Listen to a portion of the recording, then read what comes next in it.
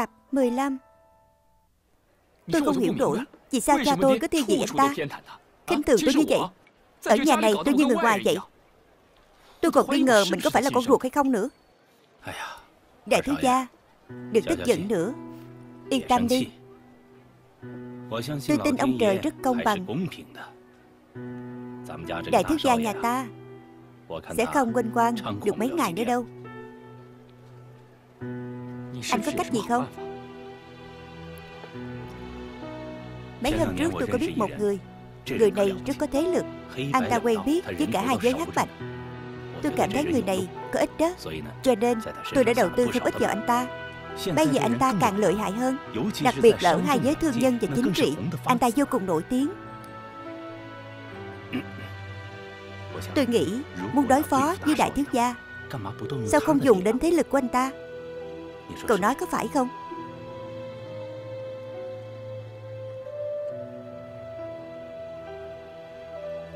Liên lạc giúp tôi. Bác Toàn.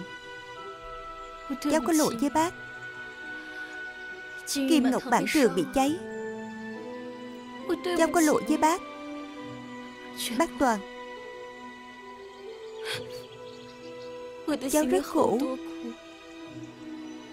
Rất quan ức, tức giận Muốn nói với ai đó. Nhưng cháu không biết nói với ai cả. Cháu chỉ có thể nói với bác. Hình như cháu tìm thấy Lai Phúc. rồi. Nhưng anh ấy nói là anh ấy không biết cháu. Cháu không biết anh ấy nói thật hay là giả vờ Cháu hy vọng anh ấy là Lai Phúc Lại rất sợ anh ấy chính là Lai Phúc. Vì nếu anh ấy là Lai Phúc thật Thì anh ấy thực sự quá độc ác Quá tàn nhẫn, quá đáng sợ. Bác Toàn. Bác nhất định phải phù hộ cho cháu tìm được con người đáng sợ này. Chúng ta nhất định phải đòi lại công bằng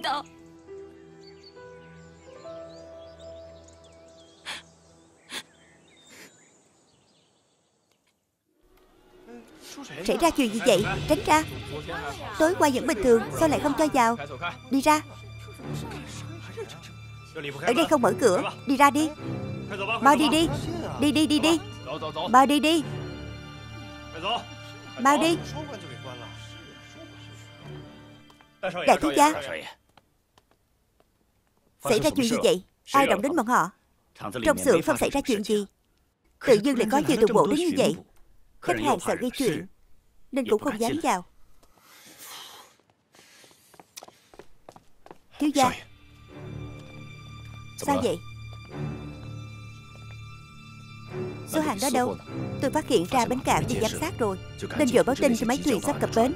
Bảo họ dừng trên biển đừng vào bờ nữa. Làm tốt lắm. Nhưng thiếu gia Hàng không cập bến được. Chúng ta không giao hàng đúng hẹn. Đến lúc đó tiền bồi thường cũng một khoản tốn rất lớn đó. Còn hơn là hàng bị cướp. Bị kiện tụng mất danh dự. Tôi không hiểu nổi. Anh nói xem sao đột nhiên họ lại giám sát Bến cảng và sòng bạc của chúng ta chứ. Có chỗ nào chưa thỏa đáng sao?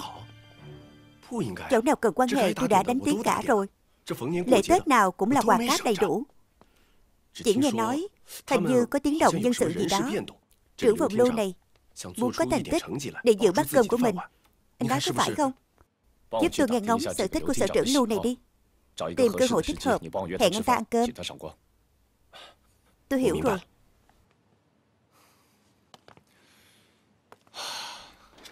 Tránh ra. Ở đây không mở cửa. Tránh ra.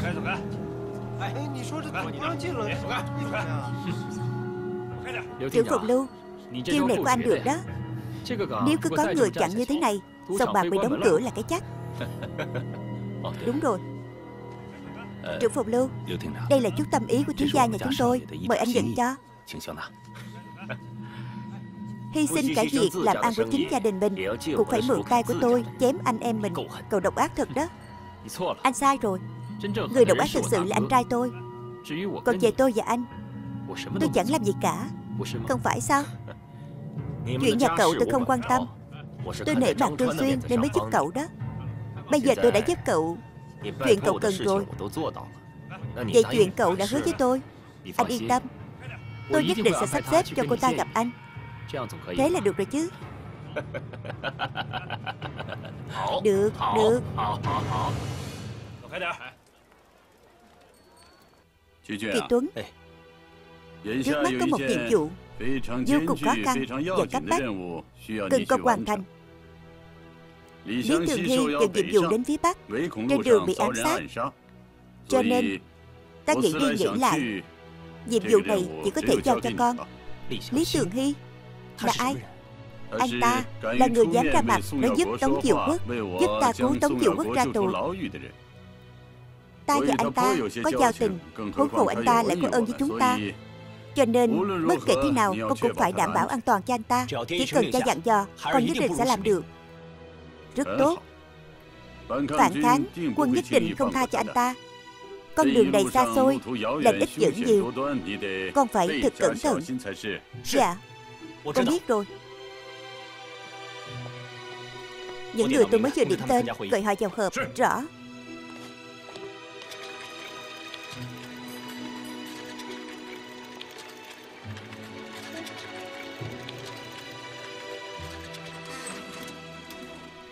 Đến rồi. Cảm ơn. Không có gì.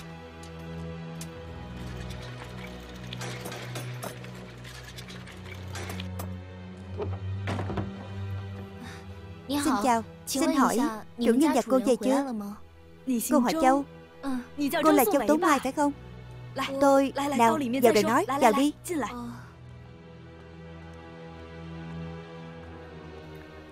Đây là phòng khách nhà chúng tôi Thực ra việc nhà tôi cũng khá nhẹ nhàng. Cô chỉ cần lo ngày ba bữa cơm là được rồi. Cô Cô ấy là ai? Cô ấy là Cao Tiến Dân. Là thần tượng của trưởng phòng lưu chúng tôi. Cô ấy là Đại Minh Tinh Đang rất nổi tiếng. Trưởng phòng của chúng tôi nói rồi Mấy ngày nữa sẽ mời cô ấy đến nhà ăn cơm. Dù sao mình cũng không còn nơi nào để đi Ở đây cũng có thể đợi được Tiến Dân Cứ ở lại đây đã.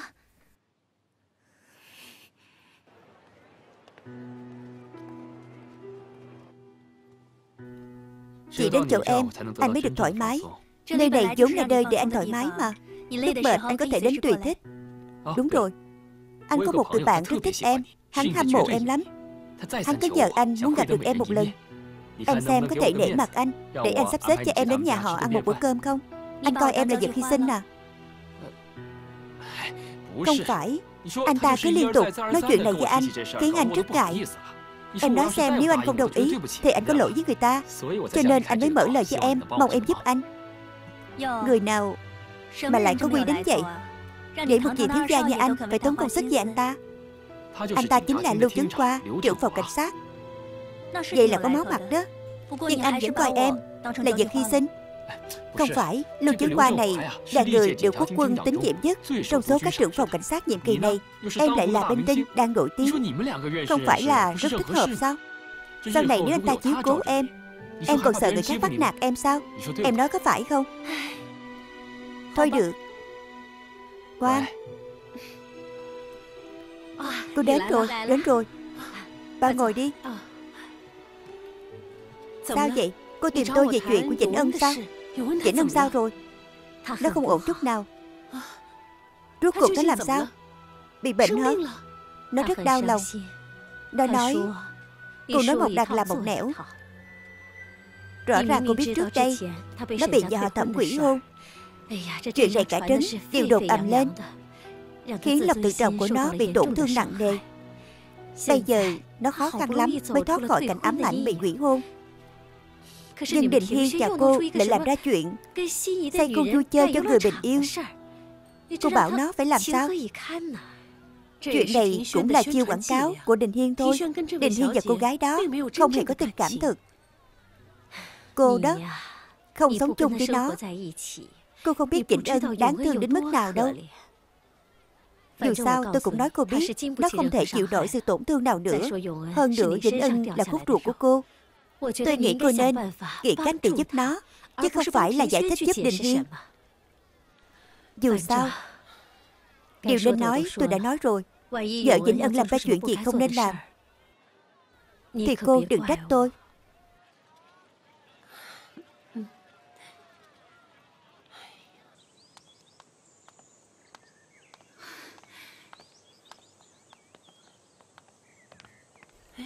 Dì phu nhân, bà về rồi.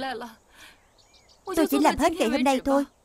Tôi thực sự không thể làm giáo viên dạy kèm của tiểu thư Duy Giao nữa. Bà nên mời người khác đi. Sao Duy Giao lại làm ra chuyện này nữa? Cô Trần, cô đừng đi, tôi xin lỗi. Tôi nhất định sẽ trừng phạt nó. Cô ấy là thiên kim tiểu thư Làm gì cũng đúng. Người sai là tôi. Tôi không có khả năng. Cô Trần Cô Trần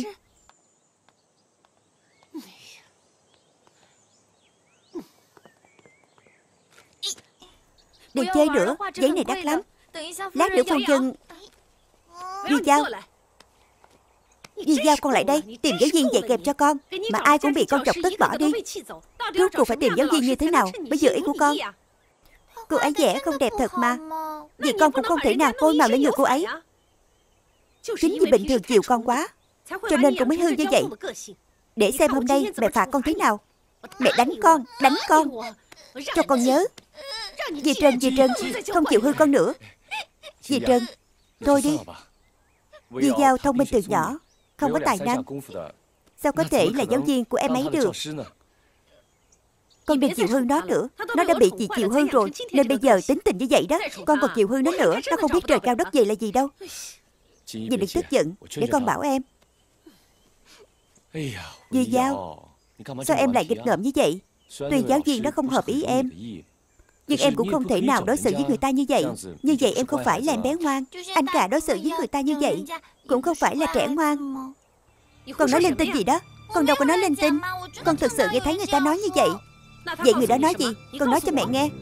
Không cần đâu gì Trần Vì sự nghiệp của nhà họ đường Đại ca vẫn luôn trong trạng thái sẵn sàng chiến đấu Cho nên đắc tội với vài người bên ngoài. Cũng là điều khó tránh khỏi. Đến người đó nói ra nói vào cũng không gì lạ Phải không anh cả Con bé này Thật là không quản được nó nếu có con quen giáo viên nào tốt Thì giới thiệu giúp gì Phải dạy dỗ thật nghiêm khắc Con biết rồi。Nào đi thôi。Anh sao vậy? Không sao Ngủ không ngon thôi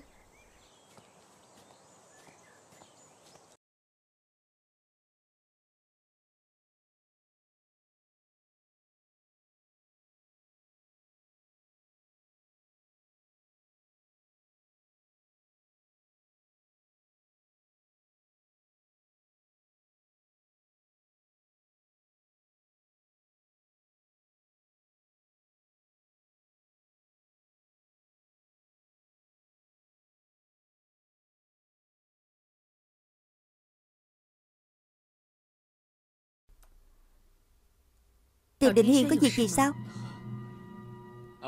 Không sao. Di Trân Dì tìm con có chút việc Con tìm Tống Tiểu Thư đến các băng Hơn nữa còn tuyên bố với mọi người Khu vui chơi được xây gì của ta. Vĩnh Ân rất không vui vì chuyện này. Có phải con nên đích thân giải thích với nó không? Thực sự rất xin lỗi. Thực ra con nên tìm Vĩnh Ân giải thích từ đầu rồi? Gần đây Nhà họ đường của chúng ta không có ai đắc tội với tường bổ Chỉ một động thái nhỏ của phòng tường bổ Mà việc làm ăn của nhà ta đã bị đảo lộn hết cả lên. Mấy hôm nay Con cứ phiền muộn về chuyện này. Con mệt muốn chết rồi. Sao lại như vậy? Bây giờ phải làm sao? Dì đừng lo. Ngoài ra chuyện với Vĩnh Ân Con sẽ ăn ủi cô ấy. Dì yên tâm.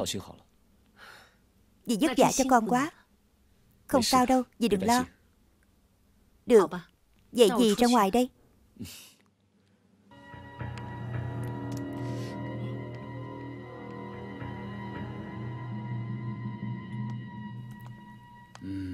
Lão gia Sao ông vẫn chưa ngủ? Có tuổi rồi. Nhiều tâm sự Có chút chuyện là không ngủ được. Bà ngồi đi Tôi vẫn luôn lo cho Kỳ Tuấn Không biết nó thế nào. Báo cáo Có điện báo của ngài.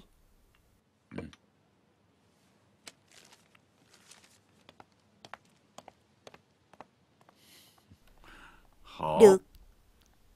Tôi biết là Kỳ Tuấn làm được mà. Không khiến tôi thất vọng. Đúng rồi Tống Nghi Lam hôm nay đến đây để hỏi tin tức về Kỳ Tuấn. Tôi nói với cô ấy Kỳ Tuấn vẫn chưa về. Cô ấy bảo tôi nếu có tin tức của Kỳ Tuấn, báo cho cô ấy ngay.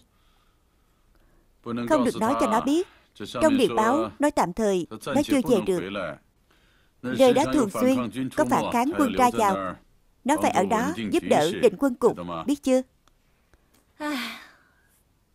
Từ sau khi Vĩnh Ân đi, chắc nó không muốn tình cảnh nhớ người. Cũng có thể vì muốn trốn tránh Tống Nghi Lam. Hình như Kỳ Tuấn không muốn về lắm. Nghi Lam cũng thật thâm tình. Nhưng không biết Kỳ Tuấn nghĩ thế nào. Thằng bé nghe lời tôi rất nhiều chuyện. Chỉ có chuyện tình cảm là rất cố chấp. Tôi cũng không biết làm thế nào với nó. Con cái lớn rồi Không quản được nữa Vĩnh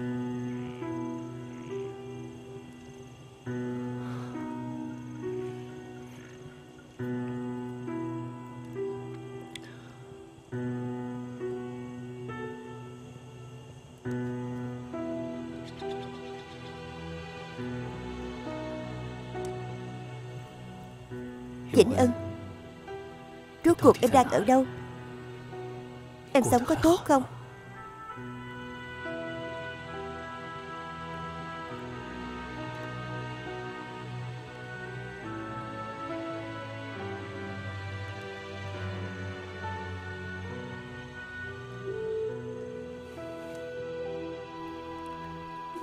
Nói với đầu bếp Pha tách trà ngon nhất Mà Lý Thiên Sinh tặng đi. Cao tiểu thư thích ăn món của địa phương. Khi nấu phải đặc biệt chú ý. Tóm lại Hôm nay có khách quý. Mọi người phải thể hiện cho tốt. Không được có bất kỳ sơ sót nào. Nếu không tôi sẽ hỏi tội các người Rõ. Cứ làm như chưa thấy phụ nữ bao giờ vậy. Tôi đã từng nấu cơm chiều. Nhưng chuẩn bị một bàn ăn lớn như hôm nay Thì là lần đầu tiên Đừng lo Còn có tôi mà Thiếu dân trở thành đại minh tinh rồi. Liệu có quên mình không?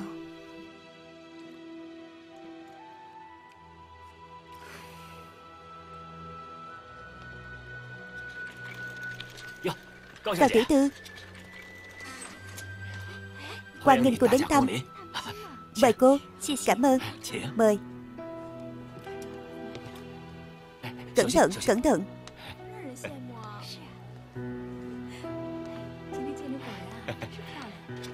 Mời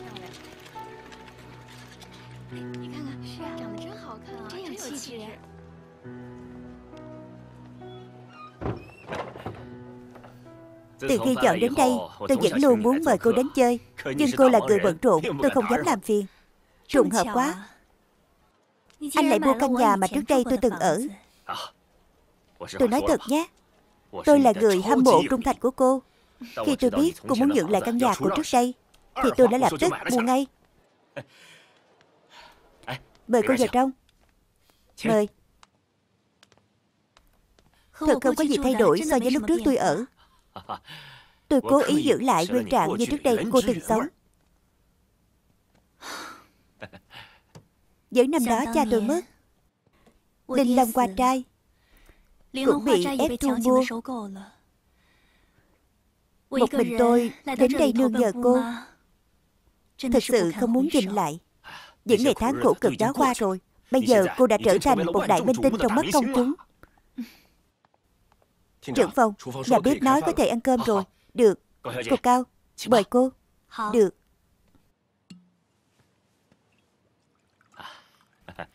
Trưởng phòng Lưu. Chính trị với thương nhân đều phức tạp Với văn nghệ sĩ cũng phức tạp. Sau này xin anh giúp đỡ nhiều hơn.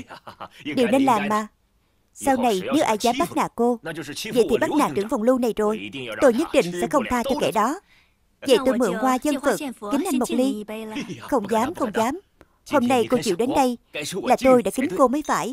Nào.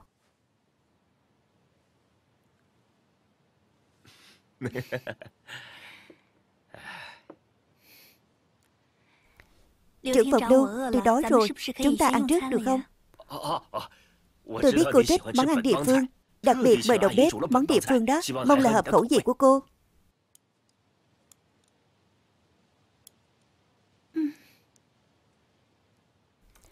Lâu lắm rồi chưa được ăn những món như thế này. Thực sự rất ngon. Bây giờ cô đã là đại minh tinh rồi. Muốn ăn món gì chỉ cần dặn dò một câu. Ăn nhiều vào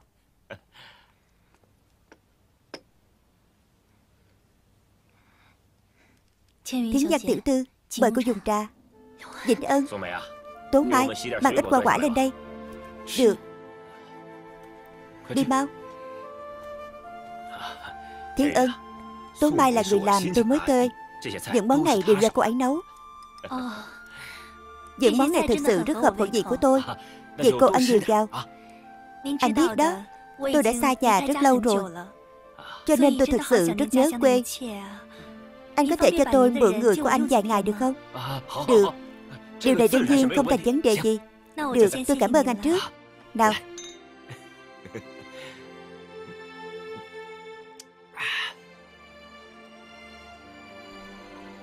Sự không ngờ Mới chia xa chưa bao lâu Mà cô đã có bản lĩnh ở một nơi tốt thế này. Giờ già đã rồi nói. Bao ngồi đi Vĩnh Ân Thực sự không ngờ Chúng ta cũng có thể gặp nhau. Hơn nữa là trong tình cảnh này Cô không đọc tin tức điện ảnh sao? Tôi đâu có tâm trạng xem những thứ đó. Cô quan tâm đến tôi. Cô không quan tâm sao? Rõ ràng là cô quan tâm đến tôi. Cũng phải. Giờ tiếng danh là đại minh tinh rồi. Không quan tâm đến tôi cũng đâu có gì lạ. Tôi đâu có không quan tâm cô. Đúng rồi. Giờ nãy có người ngoài tôi không tiện hỏi. Sao cô lại làm người hầu cho Lưu Tướng Khoa Một lời khó nói hết Lúc đó. Tôi lâm vào đường cùng Đến nhà cô để nhờ cậy Kết quả là cô đã chuyển đi rồi. Hơn nữa người ở đó cũng không biết cô đi đâu. Trong tình huống tuyệt vọng đó Lại đúng lúc nhà trưởng phòng đô tuyển người làm. Tôi đã ở lại đó. Lâm vào đường cung Sao cô có thể lâm vào đường cung Không phải bác Toàn rất thương cô sao? Bác Toàn Bác Toàn mất rồi. Bác Toàn mất rồi sao Sao có thể như vậy Tôi thấy bác ấy vẫn còn rất khỏe mạnh mà Mới chưa được bao lâu Sao nói mất là mất chứ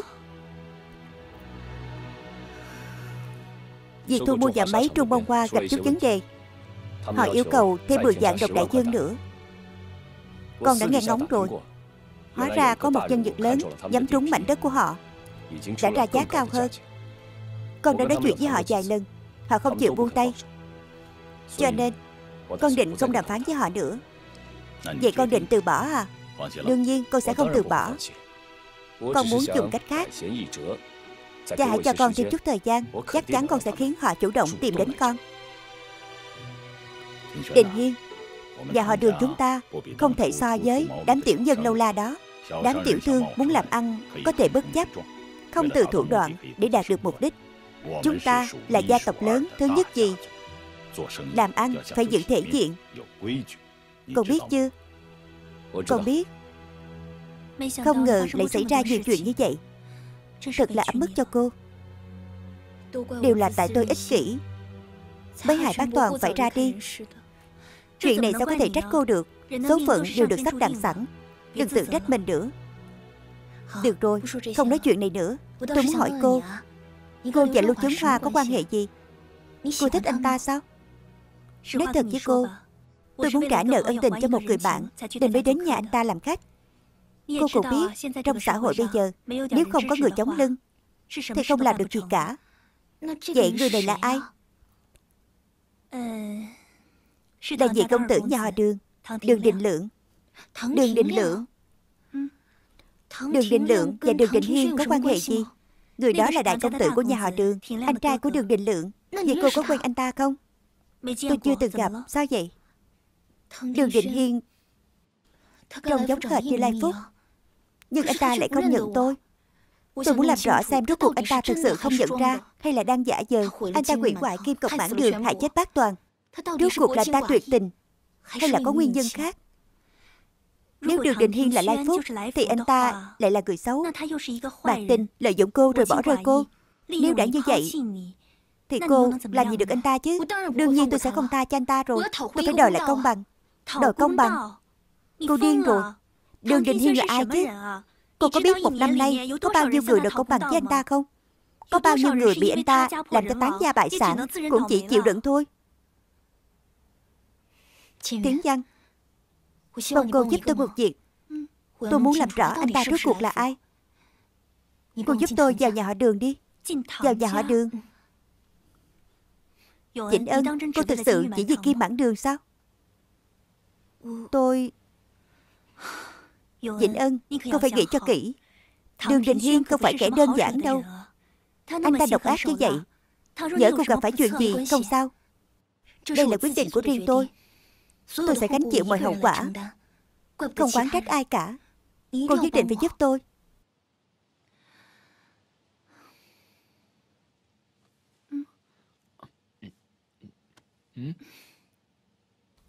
Sao vậy? Không có tâm trạng. Ai khiến bảo bối của nhà ta không vui vậy? Người ta có tâm sự đó. Anh biết là em có tâm sự. Chuyện gì em nói đi. Chỉ cần em nói ra Anh sẽ làm được Thật sự có chuyện cần anh giúp. Em có một người bà con muốn đến đây làm ăn.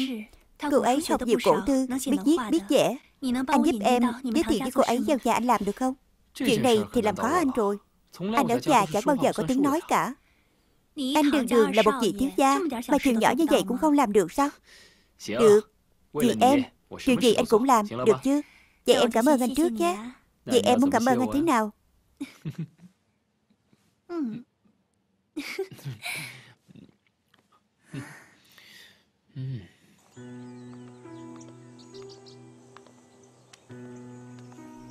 Vĩnh Ân Trong gia đình lớn Các mối quan hệ rất phức tạp.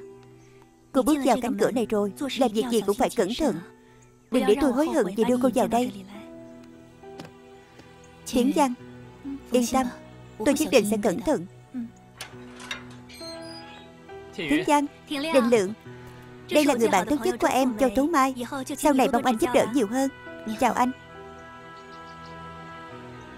Anh ngay ra đó làm gì? Không có gì. Anh đang nghĩ xem có việc gì dặn dò cô ấy không? Điều gì thiếu gia Người của em mà anh còn phải dặn dò sao? Đại tiểu thư của anh ơi Em đừng giận nữa có được không? Em nói xem bây giờ Những việc anh làm cho em còn ít à Có việc nào không phải là em đồng ý cho anh mới làm Bây giờ em giận dỗi với anh Anh thấy ấm ức lắm. Được rồi Vậy em cảm ơn anh trước. Em còn phải đi quay phim. Vĩnh. Tố Mai. Cô phải tự chăm sóc bản thân nhé. Yên tâm đi. Cô mau đi làm việc đi. Có cần anh đưa xe cho em đi không? Không cần đâu. Em đi trước đây Tạm biệt Tạm biệt. Đi trước nhé. Cầm đồ theo tôi vào trong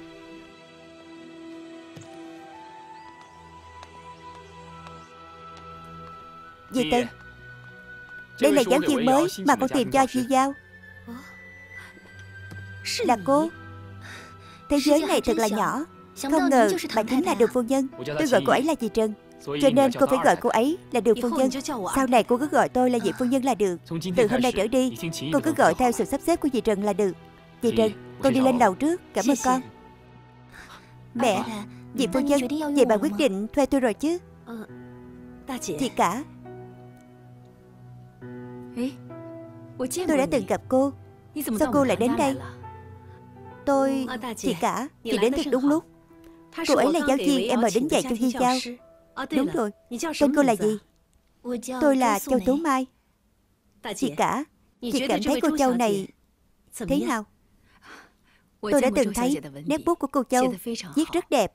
Nếu như cô ấy làm giáo viên cho Duy Giao Thì chắc chắn là có thừa khả năng Nhưng cô Châu à Cô phải kiên nhẫn đó Phải chuẩn bị tâm lý trước。Con gái của tôi Nó vô cùng nghịch ngợm Tôi mời bao nhiêu giáo viên cho nó Mà nó đều không hài lòng。Tôi vô cùng đau đầu Mong cô có thể dành cho nó nhiều thời gian Và sự kiên nhẫn hơn Được, tôi sẽ cố gắng thử xem Má Dư Chuẩn bị phòng khách cho cô Châu Sau này cô Châu sẽ là giáo viên của Di Giao Dạ, thưa phu nhân Cô Châu, mời đi bên này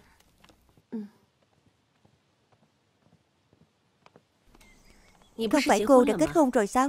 Sao chồng cô lại để cô đi làm？Có chút việc Tôi vẫn chưa kết hôn được。Sao vậy Việc đời lắm nhiều bất ngờ. Cho nên vị hôn phu của tôi đã mất tích rồi. Vị phu nhân Việc này không may mắn. Bà còn dùng cô ấy không? Không sao Tôi không tin vào việc đó. Đẩy cao hơn đi. Được. Duy Giao Mẹ Duy Giao Để tìm giáo viên cho con đây. Cô chính là giáo viên của tôi. Em là Duy Giao phải không? Dễ thương quá. Duy Giao Cô cảm thấy giáo viên mới thế nào? Sao cũng được. Duy Giao Không được như vậy. Con mà còn như vậy Thì không tìm được giáo viên cho con đâu. Cô Châu Tôi giao Duy Giao cho cô đó. Bà yên tâm đi.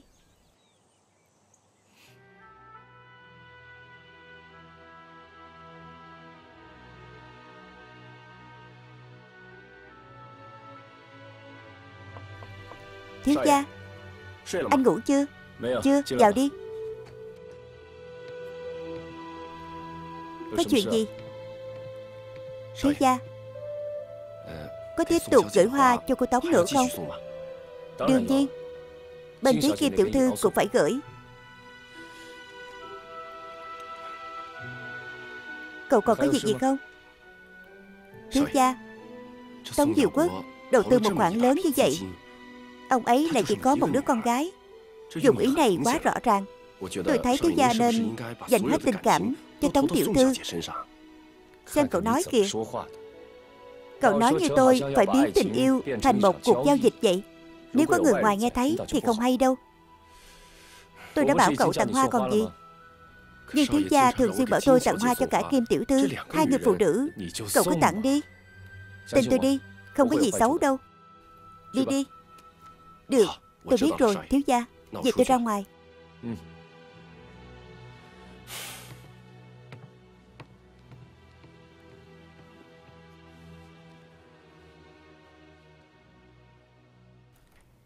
Vì giao tiểu thư rất thích vẽ. Nếu cô muốn vẽ Cô cứ để cô ấy vẽ. Nếu cô ấy muốn chơi Cô cứ để cô ấy chơi. Lát nữa Tôi sẽ bày trà nước và điểm tâm ở đình hóng mát. Nếu cô ấy đói Cô hãy hầu hạ cô ấy ăn một chút. Được tôi biết rồi.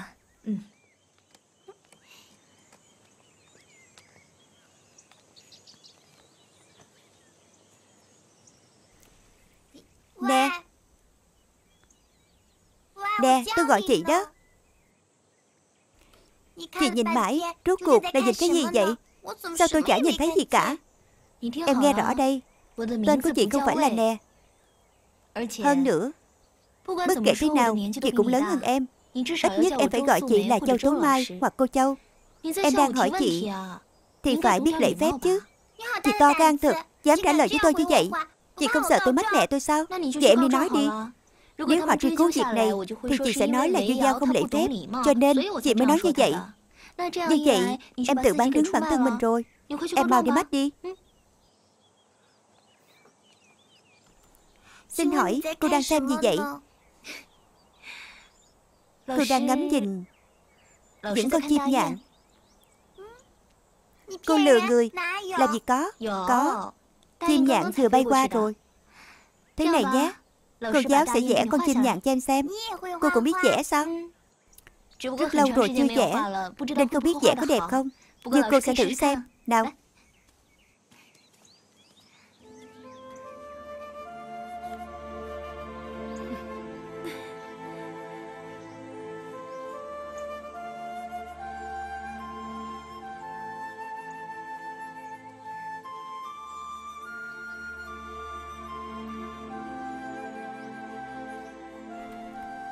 Qua đó xem.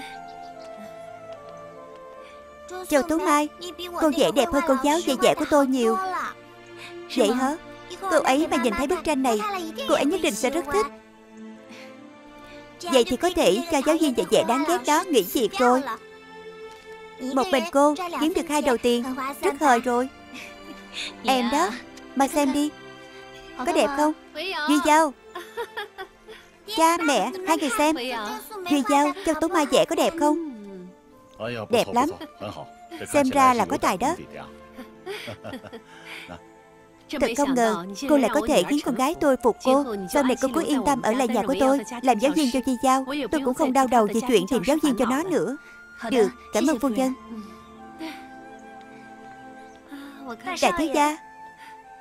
Cha, dì Trần Dì Giao. Anh cả. Sao hả? Hôm nay có vui không? Anh cả. Em nói cho anh biết Giáo viên mới của em biết vẽ đó. Thật hả? Được rồi Duy Giao. Đừng bám lấy anh nữa. Cha có chuyện cần nói với con. Đào Duy Giao. Đình Hiên Về thư phòng đi. Dạ. Cái này được lắm. Có tiến bộ Nhà máy bột mì Thuận Thái ngày mai có thể ký hợp đồng rồi. Ngoài ra nhà máy bông Trung Hoa Cũng chịu giảm giá rồi. Vốn dĩ họ không chịu giảm giá sao? Nếu có rất nhiều người tranh giành Họ nhất định sẽ làm căng Nhưng nếu không ai hỏi đến Thì con không lo Họ không chịu nhượng lại. Định lượng mà có được một nửa năng lực của con Thì tốt quá. Cha Cha đừng nói vậy Thực ra định lượng cũng có tài năng riêng Chỉ là cha chưa cho em ấy một cơ hội. Còn con Là nhiều công việc quá cũng đến đây chịu áp lực cho em ấy. Cha đã phấn đấu mấy chục năm Khó khăn lắm mới thấy hai anh em con khôn lớn. Có thể kế thừa gia nghiệp Đặc biệt là con. Vô cùng có tài Cha giao cho con Cha cũng yên tâm hơn. Cha đang nghĩ Cha và dì Tần Có thể du sơn quảng thủy Hưởng thụ tuổi già rồi. Thực ra cha nên hưởng thụ từ lâu rồi Cha, cha cứ yên tâm Cha và dì Trần cứ đi chơi đi. Sản nghiệp của họ đường Con nhất định sẽ bảo quản thật tốt. Dạo này định lượng có quyết tâm hơn Nhưng trong tay lại có vài dự án lớn. Giao cho nó thì không yên tâm. Trong lòng nó nhất định khó chịu. Vậy ý của cha là Cha nhìn thấy quá khứ của cha trên con người con.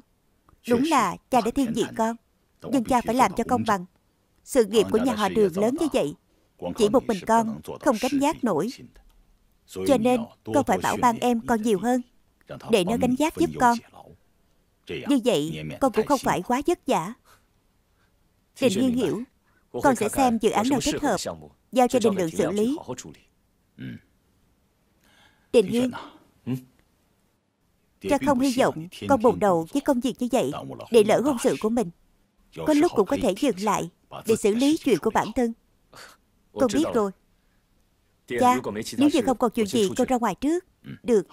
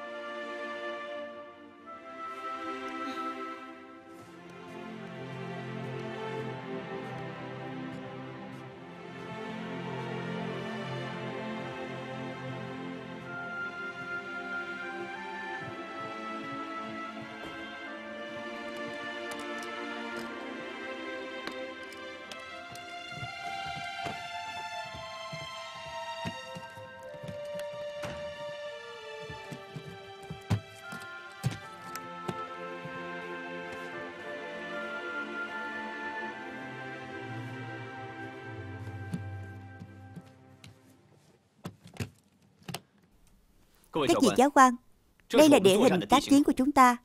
Cờ xanh đại diện cho quân tề. Cao địa 201 là khu vực đầu tiên mà chúng ta phải tấn công. Biết chưa? Biết, biết. Sau đó cao địa 101, 173 và cao địa Nam Cao là mục tiêu số 1 của chúng ta Trong vòng một tuần. Tôi muốn mọi người hoàn thành nhiệm vụ, biết chưa? Rõ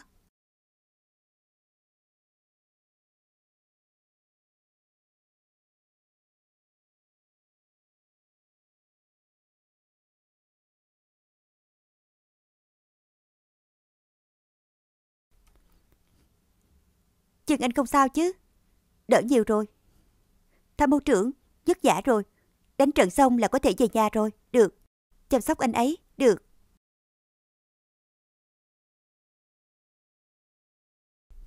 Đừng dậy, đừng dậy Nằm đi. Dứt giả rồi, đánh trận xong là có thể về nhà rồi. Cảm ơn tham mưu trưởng. Cuối cùng cũng đánh trận xong rồi. Phải. Tham mưu trưởng đã chuẩn bị xe xong rồi Chúng ta có thể lên đường trở về bất cứ lúc nào. Tham mưu trưởng Tống tiên sinh gọi điện đến.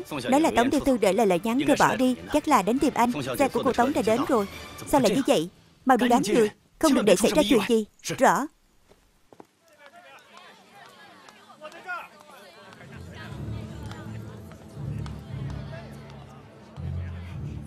Xe kéo. Đến đây Đi. Thả tôi ra, Lên xe. Buộc cô ấy ra. Nghe thấy chưa? Kỳ Tuấn, cứu em. Buộc cô ấy ra. Nghe thấy chưa? Kỳ Tuấn, cứu em. Thẩm thiếu gia, Cậu khiến chúng tôi phải đợi cậu lâu rồi. Tôi biết các người dám vào tôi. Đừng làm hại người vô tội. Thả cô ấy ra. Thẩm thiếu gia, Cậu nói đùa rồi. Sao chúng tôi có thể thả Một nhân vật quan trọng thế này được? Kỳ Tuấn cứu em. Chúng tôi chỉ muốn mời tiểu thư này Và thẩm thiếu gia đến làm khách chỗ chúng tôi. Không biết ý của thẩm thiếu gia thế nào. Được. Tôi đi với các người. Nhưng các người phải thả cô ấy ra trước. Một mình cậu thì cô đơn lắm. Có cậu, Chúng tôi có thể có bình mật của nhà họ thẩm. Có cô Tống đây. Kỳ Tuấn, Cứu em. Đứng yên, Không thể thiếu ai trong hai người. Chúng tôi sẽ đưa các người về. Hầu hạ như Bồ Tát sống. Các người không cần lo. Cứu em kìa tôi Đứng yên